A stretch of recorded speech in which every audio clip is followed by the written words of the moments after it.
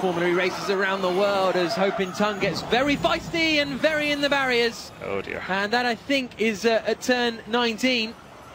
We'll wait and see, but Ho-Pin Tung has found his time in the Armco barriers at turn 19. And well, we saw him locking up and there's just no margin for error around here, is there?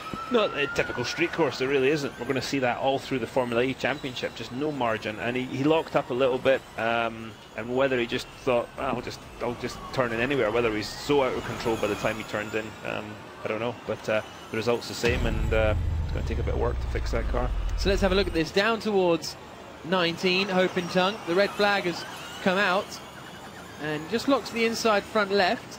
And he's nowhere near the apex, and he just it looked like he sort of just tried to. I think he was so out of control. I don't Yeah. think he could slow it down.